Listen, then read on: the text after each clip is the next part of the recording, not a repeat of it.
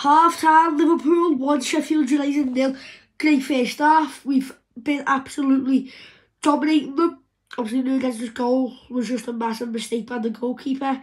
Because um, the goalkeeper did it, Nunez went like that, like that with his leg, and it went in. But who cares?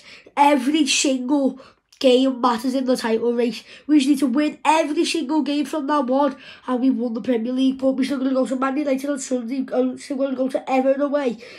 Um, Tottenham at home, I know we're at home, it won't be easy. Villa away, West Ham away, Crystal Palace at home, that won't be easy. All that other games, like on away games like Villa, Everton, West Ham, United on Sunday, like that, they, like they won't be easy.